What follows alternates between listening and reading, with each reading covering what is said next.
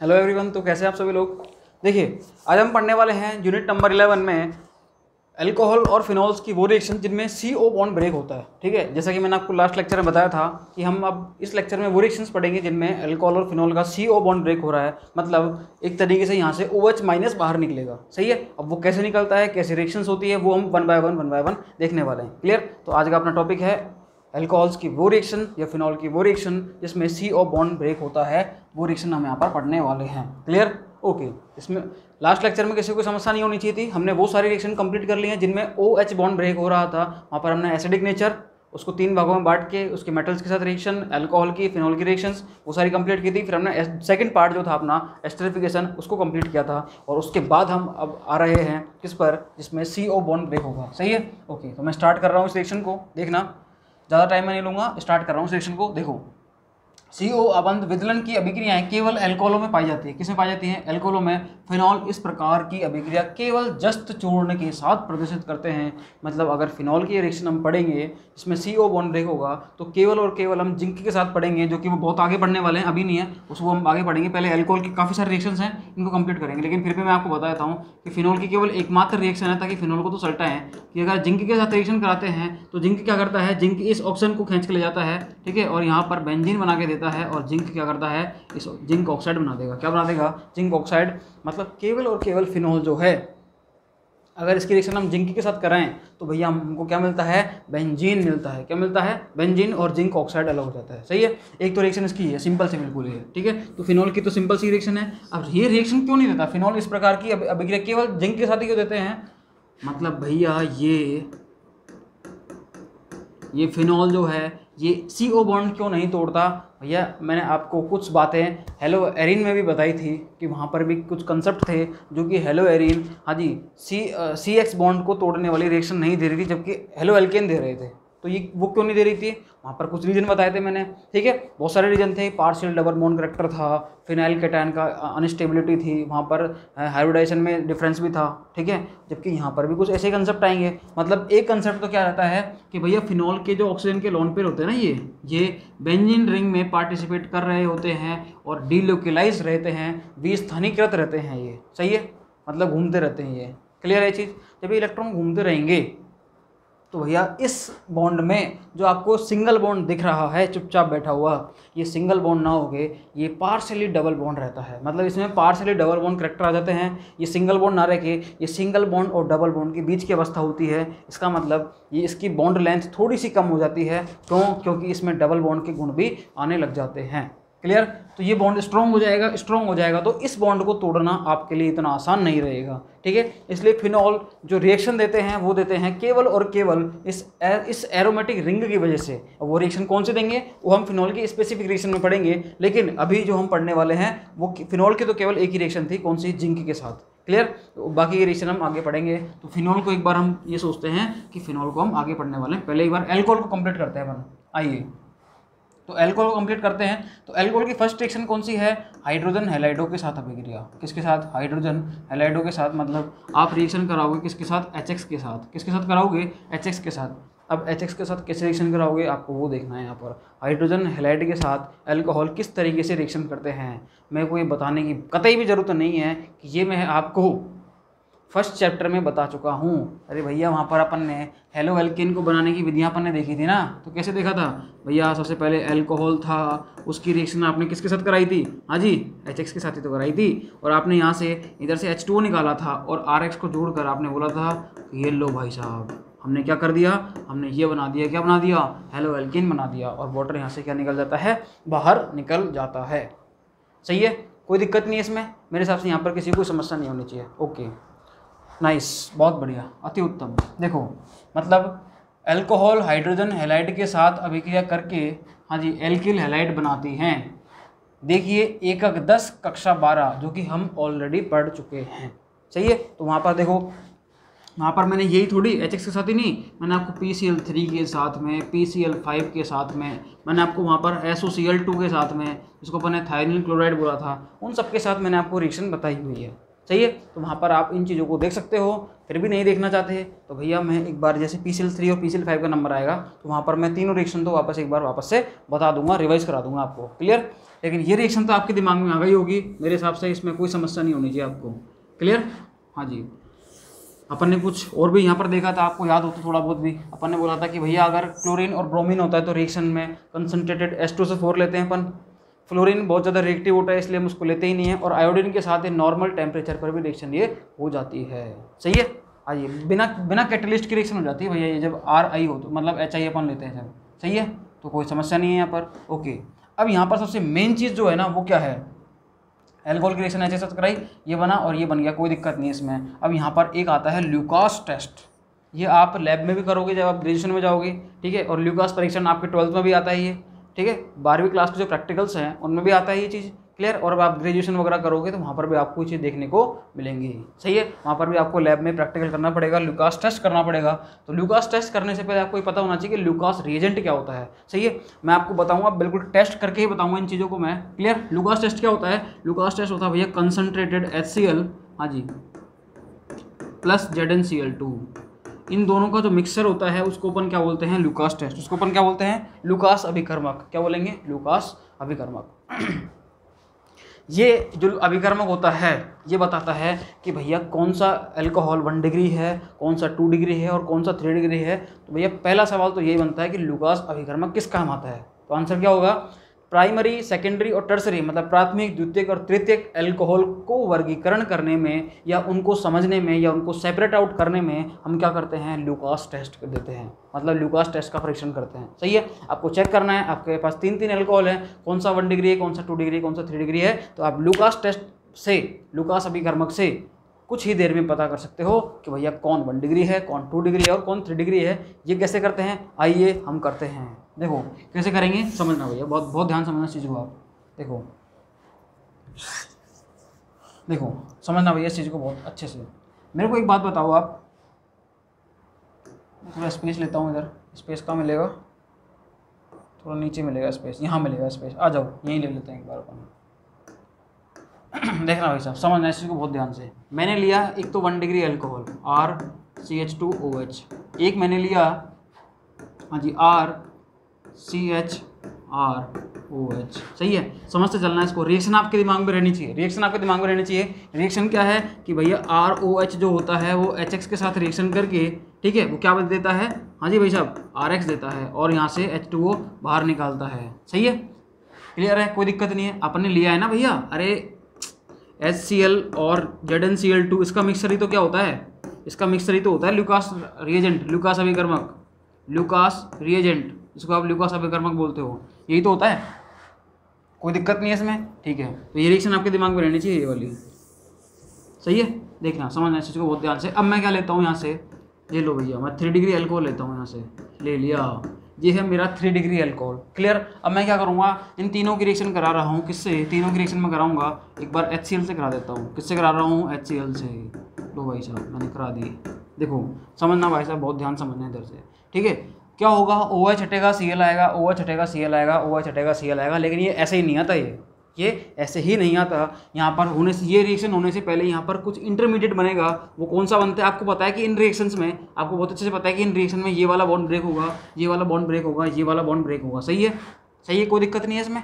बोलो भाई साहब, कोई दिक्कत नहीं है इसमें। जब इस बॉन्ड को आप ब्रेक करोगे तो भाई साहब इंटरमीडिएट क्या बनेगा? देखना, ये बनेगा।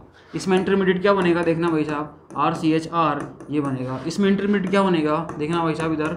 आर आर आर, ये बनेगा ये जो यहाँ पर जो बन रहा है, ये वन डिग्री कार्बोकैटायन है, ये टू डिग्री कार्बोकैटायन है, ये थ्री डिग्री कार्बोकैटायन है, और कार्बोकैटायन की स्टेबिलिटी का ऑर्डर हम जानते हैं। कार्बोकैटायन की जो स्टेबिलिटी होती है, इसकी स्थायित्व जो होता है कार्बोकैटायन की स्टेबिलिटी का ऑर्डर जो होता है, वो क्या होता है एक्चुअल में? Three degree is more stable than two degree is more stable than one degree सही है? ये अपने पास ऑर्डर होता ही है। बोलो भैया, कोई समस्या है इसमें? इसमें कोई दिक्कत नहीं है। ये इनकी क्या होता है? स्टेबिलिटी का ऑर्डर होता है। इसका मतलब अगर जो इंटरमीडिएट जो कार्बोकेटाइन जो मध्यवर्ती, जितना ज़्यादा स्टेबल बनेगा, भैया ये जो है, ये अल्कोहल जो है, उसके इधर से इधर आने की मतलब मध्यवर्ती बनाने की टेंडेंसी उतनी ज़्यादा बढ़ेगी क्या? ठीक है, ये यहाँ से यहाँ आने की इसकी टेंडेंसी बढ़ेगी। तो ऑब्वियसली बात है, ये रिएक्शन की रेट को भी क्या करेगा? बढ़ाएगा। अब कौन ज़्यादा स्टेबल भैया स्टेबल कौन ज़्यादा? भैया स्टेबल तो है ये ज़्यादा। कौन? ये। ये वाला, ये ज़्यादा स्टेबल है। उससे कम ये है, उससे कम ये है, क्योंकि हमें पता है कि three degree is more stable than two degree is more stable than one degree सही है? कोई दिक्कत नहीं है। मतलब थ्री डिग्री ज़्यादा स्थायी होता है टू डिग्री इससे कम स्थायी होता है वन डिग्री सबसे कम स्थायी होता है और बहुत ही कम स्थायी होता है ये। सही है? तो जब ये यहाँ बनेगा तो थ्री डिग्री बनेगा थ्री डिग्री क्या होता है? स्थायी होता है। तो भैया, स्थायी होता है तो फटाफट रिएक्शन हो जाएगी ये। सही है? इसका मतलब क्या होता है? जैसे ही एल्कोहल में हम क्या डालते हैं? लुकास रिएजेंट डालते हैं। यहाँ पर जो जो विलियन होता है, वो क्या होता है? धुंधला हो जाता है, तुरंत हो जाता है। क्या होता है? तुरंत धुंधला हो जाता है। क्या हो जाता है? तुरंत धुंधला। तुरंत हाँ जी, धुंधलापन आ जाता है उसमें। क्या आ जाता है? धुंधलापन। ठीक है, तुरंत धुंधलापन। अब ये भी लिखना है कि आ जाता है? नहीं। मतलब तुरंत धुंधलापन आ जाता है। इस, ठीक है इंग्लिश वाले यहाँ पर क्या होता है? इंग्लिश वाले देखना भैया, यहाँ पर क्या आ जाती है? इंस्टेंट टर्बिडिटी आ जाती है। क्या आ जाती है? इंस्टेंट वैसे मच्छर ढूंढ रहे हैं? ओके। इंस्टेंट टर्बिडिटी आ जाती है, टर्बिडिटी आ जाती है। तो टर्बिडिटी आ गई, विलियन कैसा हो गया? जो सॉल्यूशन है, सॉल्यूशन कैसा हो गया? टर्बाइड सॉल्यूशन हो गया, ठीक है? मतलब वो धुंधला सॉल्यूशन हो गया तो वो इंस्टेंट हो जाता है, तुरंत आ जाता है, ठीक है?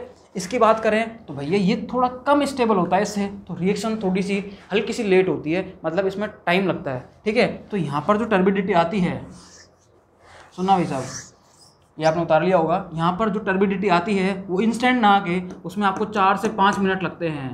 After four to five minute after हाँ जी, चार से पाँच मिनट बाद क्या आती है यहाँ पर? हाँ जी टर्बिडिटी आती है। क्या आती है? टर्बिडिटी चार से पाँच मिनट बाद क्या आती है? टर्बिडिटी मतलब धुंधलापन क्या आएगा? चार से पाँच मिनट बाद आएगा। सही है? जबकि अगर मैं इसमें बात करूँ तो भैया आएगा ही नहीं। ये तो आएगा तो बहुत देर बाद आएगा। देखते रहो चुपचाप, ऐसे खड़े खड़े सही है? मतलब यहाँ पर टर्बिडिटी क्या है? बहुत लेट आती है इसमें। बहुत ज़्यादा लेट आती है। यहाँ पर क्या आती है? हाँ ठीक है।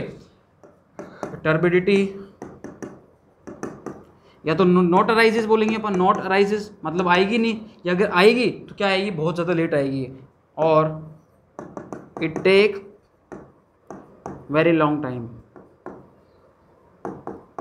समझ गए होंगे? मतलब या तो टर्बिडिटी आएगी नहीं। यहाँ पर क्या, हिंदी में क्या है? या तो यहाँ पर धुंधलापन आएगा ही नहीं।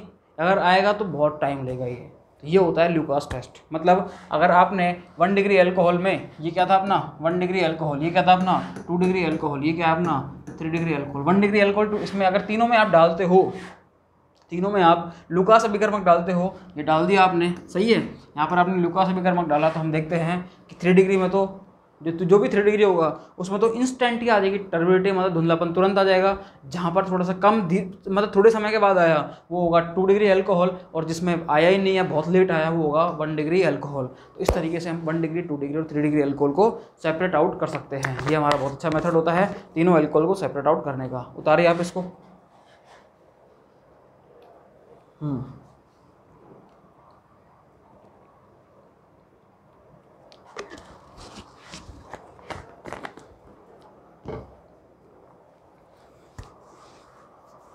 क्लियर कोई समस्या नहीं है इसमें।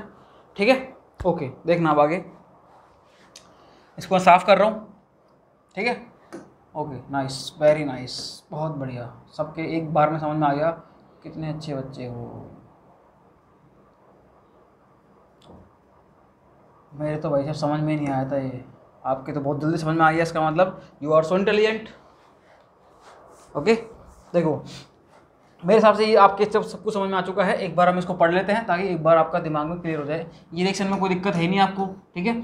ओके इन तीनों वर्गों की अल्कोहल की एच के एल के प्रति अभिक्रियाशीलता के आधार पर इनमें विभेद किया जा सकता है। ये लाइन बोली है, लेकिन बहुत गजब की लाइन बोलती इसने ये बोली सही है जो मैंने आपको बोली है? मतलब ये क्या होता है लुकास अभी कर्मक जो होता है लुकास टेस्ट इसके ऊपर बोलते हैं वन डिग्री, टू डिग्री और थ्री डिग्री में इंस्टेंट आपको ये बता देगा कि भाई साहब कौन सा है मतलब इनके वर्गीकरण में विभेद करने के लिए, ठीक है? इनकी क्रियाशीलता के आधार पर रिएक्टिविटी के आधार पर कि कौन ज़्यादा रिएक्टिव है, उसमें विभेद किया जा सकता है किसमें? तीनों अल्कोहल में, सही है? लुका सभिकर्मक एल्कोहल लुका सभिकर्मक क्या होता है? सांद्र एच सी व जेडन सेल में विलय होती है। मतलब अल्कोहल जो होता है, इसमें क्या होता है? विलय होता है सोल्यूबल होता है, जबकि अनेक, उनकी अनेक हेलाइट जो होते हैं, वो एमिश्रणी होते हैं, तथा विलियन में हाँ जी धुंधलापन धुंधलापन मतलब आविलता, धुंधलापन, आविलता, इंग्लिश में बोलते हैं टर्बिडिटी ठीक है?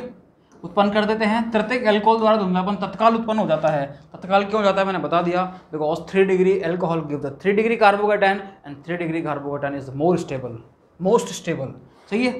क्योंकि वे आसानी से हेलाइड बनाती हैं। प्राथमिक एल्कोहल सामान्य ताप पर धुंधलापन उत्पन्न नहीं करती। ठीक है? करेंगी तो बहुत ज़्यादा लेट करेंगी, काफ़ी टाइम लेंगी और हाई टेम्परेचर पर करेंगी। सही है?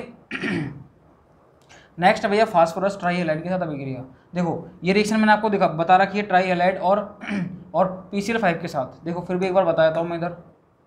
देखो भाई साहब, यहाँ देख लो। मैंने आपको बताई थी कि यदि आर ओ एच लेते हो आर ओ एच के तीन मोल लेने पड़ेंगे आपको पी सी एल थ्री के साथ यदि रिएक्शन करानी है तो भैया देखना इधर। हाँ जी, देखो। C L C L C L P P clear कोई दिक्कत नहीं है? बोलो भैया। अरे भाई साहब, बोलो। रे सॉरी उल्टा लिख दिया क्या? Phosphorus C L C L और सी एल सही है? मतलब होता क्या है यहाँ से? ये जो है पी फॉस्फोरस जो है, तीन सी एल के साथ बॉन्ड बना रखे हैं। ये तीन ओ OH के साथ बॉन्ड बना लेगा। सही है? और R C L R C L R C L क्या बना देंगे? तीन आर सी एल बना देंगे और साथ में क्या बन जाएगा? पी ओ एच का होल थ्राइस क्या बन जाएगा? पी ओ एच का होल थ्राइस इसको अपन क्या बोलते हैं? H three P O three मतलब इसको बोलते हैं अपन फॉस्फोरिक एसिड क्या बोलते हैं इसको? फॉस्फोरिक फॉस्फोरिक एसिड बताओ भाई साहब, कोई दिक्कत, कोई समस्या, कोई परेशानी हो? नहीं है? ठीक है। ये तो हो गई अपनी पी सी एल थ्री के साथ अभिक्रिया। किसके साथ? पी सी एल थ्री मतलब फॉस्फोरस ट्राई हेलाइट के साथ अभिक्रिया। एक होती है अपनी फॉस्फोरस पेंटा हेलाइट के साथ अभिक्रिया वो कैसे होती है? वो मैंने आपको एक ट्रिक दिखाई थी उसकी। आपको एल्कोहल को ऐसे लिखना है, ठीक है? और आपको फॉस्फोरस मतलब पी सी एल फाइव को इस तरीके से लिखना है। हाँ जी clear C L C L और सी एल लिख दिया आपने। उसके बाद क्या करना है आपको? एक तीर यहाँ से निकालो, एक तीर यहाँ से निकालो, बाकी को लिख दो। देखो, एक तो बनेगा आर सी एल बहुत बढ़िया। एक क्या बनेगा यहाँ पर? एच सी एल बहुत ही बढ़िया। और एक बनेगा आपके सामने P O C L three मतलब P O C L three alkyl halide hydrochloric acid और इसको बोलते हैं अपन फॉस्फोरस ऑक्सीक्लोराइड इसको अपन क्या बोलेंगे? फॉस्फोरस हाँ जी फॉस्फोरस ऑक्सी क्लोराइड क्लियर कोई दिक्कत नहीं है इसमें, कोई समस्या नहीं है। तो मेरे हिसाब से आपको कोई समस्या नहीं होनी चाहिए इनमें। ठीक है, एक बार मैं सिलेबस और चेक कर लेता हूँ इसमें। हाँ जी। ओके तो ये आपके हो चुका है सारी चीज़ें। रिएक्शन विथ फॉस्फोरस ट्राइलाइड ये भी आपके ऐसे तो रेफर कर रखी है इन्होंने। रेफर कहाँ कर रखी होगी देखो। हाँ जी, ये आपको दिखा रखी है। देखिए, ये भी आपको कहाँ से पढ़नी है वैसे तो? दोनों रिएक्शन जो आपने पढ़ी हैं ल्यूकास टेस्ट से ऊपर वाली और दूसरी कहाँ से? हाँ जी, दूसरा आपने पढ़ा होगा। कहाँ गया? ये रहा। ये रही फॉस्फोरस ट्राइलाइड मतलब क्या होता है? पी सी एल थ्री आप पी सी एल थ्री नहीं, आप पी सी एल फाइव के साथ भी पढ़ लेना और एक बार S O C L two के साथ एक बार देखो ये और बताया तो मैं आपको, वैसे मैंने बता रखी है ये भी। सही है? मैंने आपको देखो, ये बता रखी थी, ये बता रखी है। एक बार एस की और देख लो फटाफट से। आ जाओ। देख लो भैया एस को भी देख लो। ताकि फिर ये नहीं रहेगा कि कोई बताई नहीं। देखो एल्कोहल मैंने लिया आर ओ एच सही है? एस में क्या होता है, ये एस की स्ट्रक्चर होती है भैया। सही है? फिर आपको क्या करना है यहाँ से? आपको क्या करना होता है, मैंने आपको बोला था, यहाँ से तीर निकालो, यहाँ से तीर निकालो। और रिएक्शन में देखो आर सी एल बनेगा एच सी एल बनेगा। और क्या नहीं बनेगा? एस ओ टू बनेगा। एस ओ टू गैस उड़ जाती है एच सी एल भी उड़ जाता है। केवल और केवल क्या बनता है? आर सी एल तो एल्केल हेलाइड को बनाने का सबसे अच्छा मेथड भी था ये।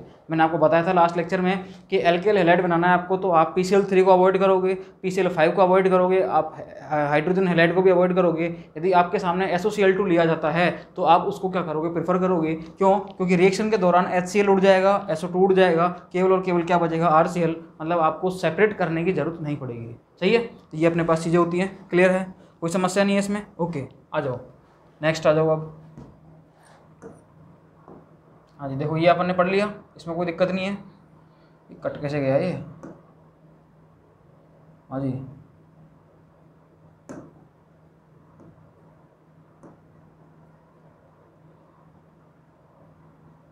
कटेगा भाई ये?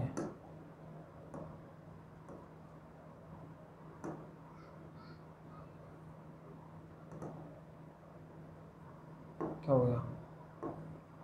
चलो कोई दिक्कत नहीं, भैया ध्यान रखना, उत्प्रेरक लिखा हुआ है क्या लिखा हुआ है ये?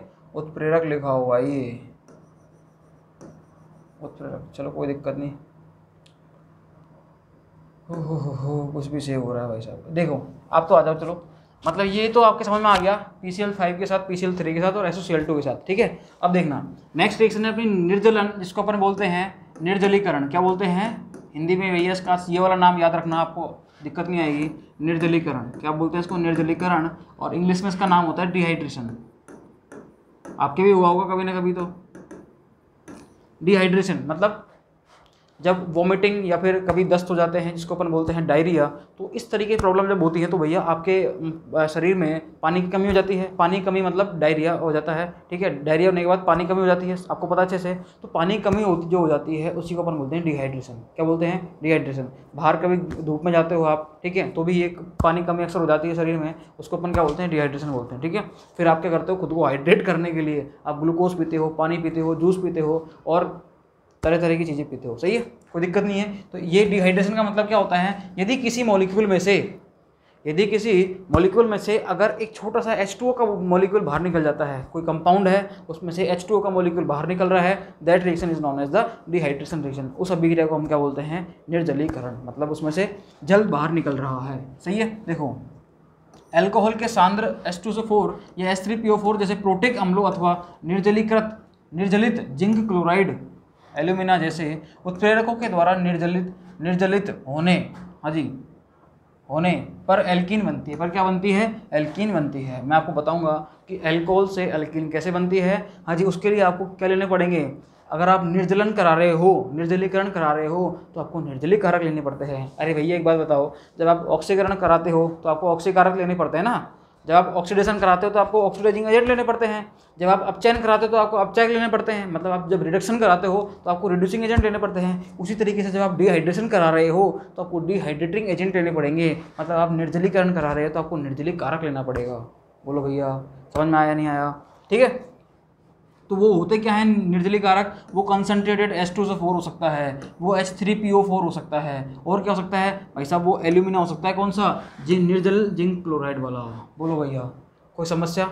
नहीं है? ओके, आगे बढ़ते हैं अपन। देखो, ये एक तेरह कक्षा ग्यारह, ये आपने पढ़ रखे हैं इसके बारे में भाई साहब। आप इसके बारे में पढ़ कर आए हो एल्किन बनाने की विधियाँ में। चाहिए हाँ? जी, कोई दिक्कत, कोई समस्या? नहीं है? क्योंकि आपके इलेवंथ क्लास में थे ही क्या? आपके इलेवंथ क्लास में एल्केन एल्किन और एल्काइन ही तो था वहाँ पर ऑर्गेनिक केमिस्ट्री के नाम पे ठीक है? आई यू नॉमन था आइसोमेरिज्म थी छोटी मोटी उस, और उसके बाद क्या था आपके पास में? एल्केन एल्किन एल्काइन था मतलब ये हाइड्रोकार्बन थे उसके अलावा जितने भी फंक्शनल ग्रुप्स हैं वो तो आपके यहाँ पर आए ट्वेल्थ क्लास में। चाहे एल्कोलो फिनोलो इथरो एल्डिएट कीटोन एसिड अमीन एनाइड्रेड और एल्किलेलाइड एरेलाइड ये सारे के सारे आप कहाँ पर आ गए। ट्वेल्थ ये तो ट्वेल्थ में आ गए। हाइड्रोकार्बन आपके इलेवंथ में थे। तो एल्किन बनाने की विधियों में आप पढ़ के आए हो? क्या? कि एल्कोहल के निर्जलीकरण से क्या बनता है? एल्किन बनता है। सही है? ओके इसकी मैकेनिज्म बताऊँगा मैं आपको। एक बार ये देख लो आप। कि चार सौ तियालीस कैलविन चार सौ तियालीस कैलविन ताप पर सांद्र एस्ट्रोसफोर से गर्म करने पर एथेनॉल का निर्जलीकरण होता है और हमें क्या मिलती है? इथिन मिलती है। क्या मिलती है? इथिन इथिन क्या होती है? एल्किन होती है और ये क्या है अपना? एथेनॉल क्लियर ये क्या है? एथेनॉल से क्या मिलेगी आपको? इथिन मिलेगी। क्लियर कैसे मिलती है? आइए। देखो, समझना भैया, बहुत ध्यान समझना। इसको इसको देखना हम यहाँ पर, ठीक है? देखो। कोई भी, कोई ना कोई एसिड तो लेंगे अपन, देखना। सी हाँ जी। यहाँ पर एच लिया, इधर ओ एच लिया और यहाँ पर ये ले लिया। सही है? ये तीन स्टेप में रिएक्शन होती है। तीन स्टेप कौन कौन सी है? समझते चलना भैया, बहुत ध्यान से। बहुत ध्यान समझते चलना है इसको, ठीक है? होता क्या है? सबसे पहले होता है प्रोटोनेशन फ़र्स्ट स्टेप में क्या होता है? प्रोटोनेशन होता है। मैं इसको थोड़ा सा ऊपर लिख देता हूँ ताकि तीनों स्टेप आ सके यहाँ पर। देखो। फ़र्स्ट स्टेप में तो क्या होता है? हाँ जी। एच और ये ओ एच ये है। ये एल्कोहल ही है ये। सपोज़ दैट अगर सारे हाइड्रोजन है तो क्या हो गया? इथेनॉल हो गया। क्या हो गया? इथेनॉल सही है? देखो, मैं क्या करता हूँ? यहाँ से फ़र्स्ट स्टेप में कराता हूँ प्रोटोनेशन। तो प्रोटोनेशन क्या होगा? आप सभी को अच्छे से पता है ये जो लॉन पेयर है ये लॉन पेयर इससे के पास जाएँगे एच प्लस के पास, और क्या हो जाएगा यहाँ पर? प्रोटोनेशन हो जाएगा एच और यहाँ पर क्या बन जाएगा? ओ एच टू प्लस तो फ़र्स्ट स्टेप क्या होता है? प्रोटोनेशन ऑफ़ एल्कोहल क्या होता है फ़र्स्ट स्टेप में? फ़र्स्ट स्टेप का नाम क्या है? प्रोटोनेशन ऑफ़ एल्कोहल ठीक है? मतलब एल्कोहल का प्रोटोनीकरण एल्कोहल का प्रोटोनीकरण सही है? ये होता है। दूसरा स्टेप क्या होता है? उसको देखना, उसको समझना बहुत ध्यान से। दूसरी स्टेप में क्या करते हैं हम? देखो। एच और यहाँ पर क्या आ गया? ओ एच टू और इस पर आ गया प्लस चार्ज क्या आ गया? प्लस चार्ज देखना भाई साहब, इधर क्या हो रहा है अब? यहाँ से ये एच टू बाहर निकल जाता है। क्या निकल जाता है? एच टू बाहर निकल जाता है। इलेक्ट्रॉन को लेके निकलेगा। क्यों निकलेगा? मैंने आपको बहुत अच्छे से बता रखा है। ऑक्सीजन पर प्लस चार्ज अनस्टेबल होता है। तो भैया ये इलेक्ट्रॉन को लेके भागेगा यहाँ से। ठीक है? मतलब क्या होगा यहाँ से? देखना इधर। इस पर क्या आ जाएगा? प्लस चार्ज आ जाएगा। क्या आ जाएगा? प्लस चार्ज ठीक है? और यहाँ से क्या निकल गया? एच टू ओ ठीक है? तो ये क्या है? ये है कार्बोकेटाइन क्या है ये? कार्बोकेटाइन कार्बोधनायन तो अपने दूसरी स्टेप क्या हो जाएगी? हाँ जी कार्बोकेटाइन का बनना। किसका बनना? कार्बोकेटाइन का बनना। ठीक है? इंग्लिश वाले तो फॉर्मेशन ऑफ़ कार्बोकेटाइन वो अपना क्या होता है? सेकंड स्टेप होता है। उसके बाद देखना थर्ड स्टेप देखो भैया थर्ड स्टेप थर्ड स्टेप में क्या होता है? ये अपने पास क्या बन गया? ये कार्बोकेटाइन बन गया। इस कार्बोकेटाइन में हम क्या करेंगे? देखना भाई साहब, ये प्लस चार्ज तो इसके ऊपर है ही ठीक है? क्या होगा? ये प्लस चार्ज जो है, ये हाइड्रोजन जो है, ये हाइड्रोजन क्या करेगा? अपने दोनों इलेक्ट्रॉन्स को छोड़ देगा। देखो सॉरी ये है, ये प्लस चार्ज है, क्या करेगा? इसके पास दो इलेक्ट्रॉन है भैया ये। इन दोनों इलेक्ट्रॉन को क्या करेगा? ये इधर छोड़ के चला जाएगा और यहाँ से क्या हो जाएगा? माइनस एच प्लस क्या हो जाएगा? माइनस एच प्लस ये हाइड्रोजन निकल जाएगा यहाँ से, ठीक है? जब ये हाइड्रोजन निकलेगा तो दोनों इलेक्ट्रॉन इस यहाँ पर शिफ्ट हो जाएँगे। तो इसका प्लस चार्ज खत्म, और ये इलेक्ट्रॉन यहाँ शिफ्ट हो गया मतलब एक बॉन्ड यहाँ पर एक्स्ट्रा बन गया। ये लो भैया। ये क्या बन गई? ये क्या बन गई भैया? एल्कीन क्या बन गई ये? एल्कीन बन गई। क्लियर है चीज़? तो तीसरी स्टेप में क्या होता है? डी प्रोटोनेशन मतलब प्रोटोन का निकलना। डी प्रोटोनेशन ठीक है?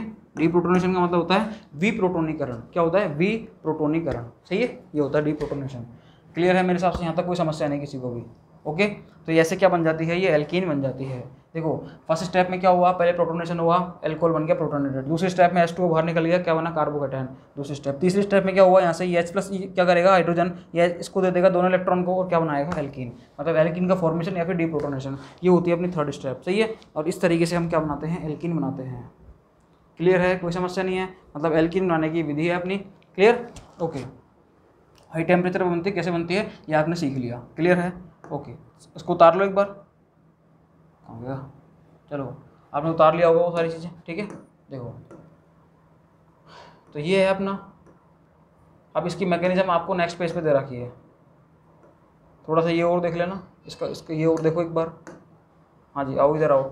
देखो, द्वितीयक तथा तृतीयक एल्कोहलों का निर्जलन हाँ जी, अपेक्षाकृत मध्यम परिस्थितियों में किया जाता है। उदाहरणार्थ ये इस तरीके से। सेकेंडरी अल्कोहल है ये।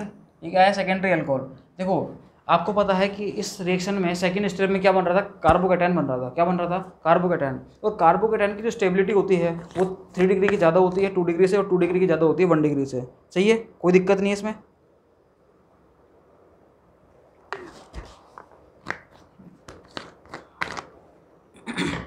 सही है? कोई दिक्कत नहीं है?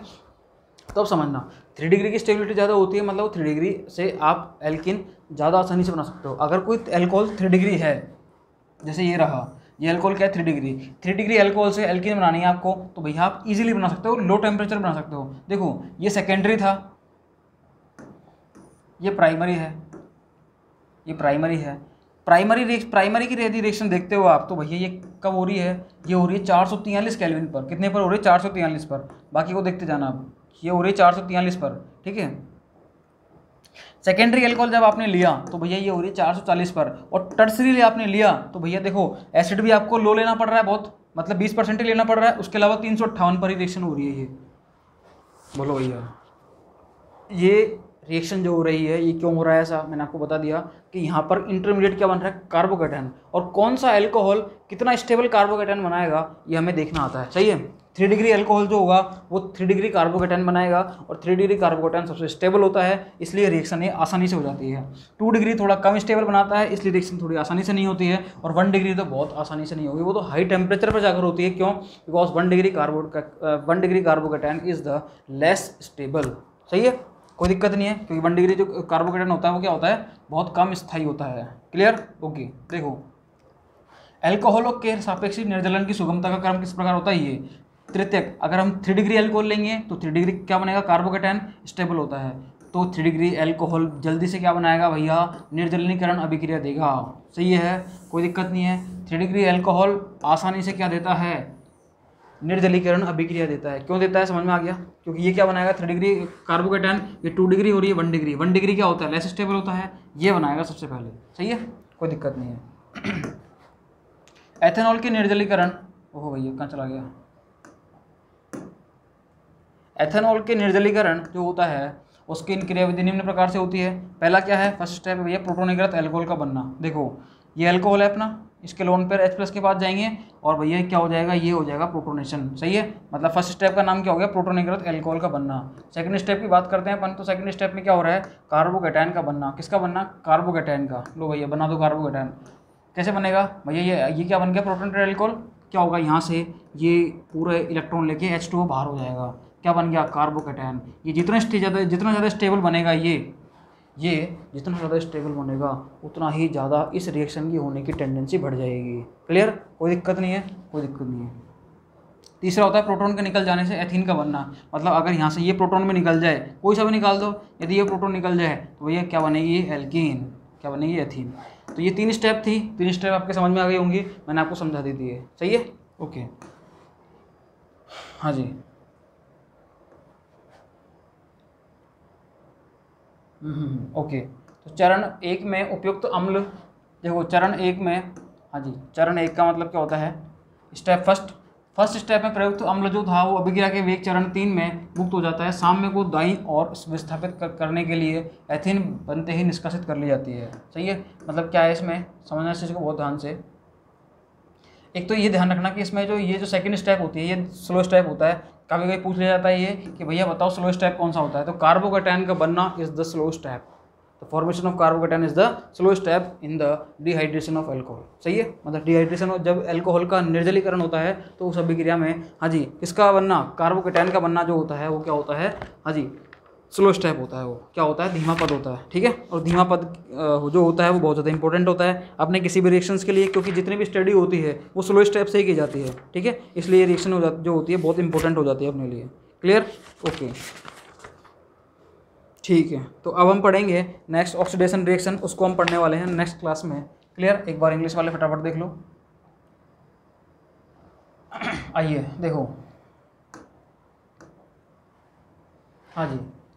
ये मैंने आपको बताया था रिएक्शन विद पहले अपन देखेंगे रिएक्शन विद हाइड्रोजन हेलाइट ठीक है? Alcohol react with hydrogen halide to form alkyl halides clear ये इस तरीके से एल्कोहल एच एस का रिएक्शन करके बनाते हैं, ये अपन ने पढ़ा था लास्ट लेक्चर में, ठीक है? लास्ट चैप्टर में ओके द अब हम देखते हैं Lucas test the difference in reactivity of three class of alcohol with H C L distinguish than हाँ जी फ्रॉम वन अनदर क्लियर मतलब क्या होता है कि यदि आपको तीन टाइप के एल्कोहल दिए हुए हैं तो आपको उनको डिस्टिंग्विश करना है, उनको आपको सेपरेट आउट करना है तो भाई आप कैसे करोगे? By the help of Lucas test मतलब लुकास रेजेंट को लेके आप क्या कर सकते हो? उनको अलग अलग कर सकते हो. Alcohols are soluble in Lucas reagent ठीक है? लुकास रेजेंट क्या होता है? एच और zinc chloride while their halide are immiscible and produce turbidity in solution मतलब हेलाइट जो होते हैं, वो इमिसिबल होते हैं. ठीक है? इमिसिबल मतलब एविले. ठीक है? एविले होते हैं और क्या करते हैं? टर्बिडिटी मतलब धुंधलापन तुरंत उत्पन्न करते हैं। In case of in case of tertiary alcohol the turbidity is produced immediately तुरंत आ जाती है क्या टर्बिडिटी सही है? As they form the halide easily primary alcohol do not produce turbidity at room temperature ठीक है? P C L three P C L five S two reaction अपन ने देख ली। डिहाइड्रेशन की बात करते तो भैया डिहाइड्रेशन जो होता है, उसके लिए आपको डिहाइड्रेटिंग एजेंट लेने पड़ते हैं। जैसे कि आपने क्या लिया? एस टू सो फोर लिया S T S three P O four लिया, ठीक है? और आपने क्या लिया? एनाइड्रस जिंक क्लोराइड लिया और एल्यूमिना लिया। इस तरीके से आपको ये ले सकते हो क्लियर और यहाँ पर क्या बनता है? तीन स्टेप में बनता है। फ़र्स्ट स्टेप में बनेगा आपके प्रोटोनेट एल्कोहल दूसरी स्टेप में बनेगा आपके हाँ जी।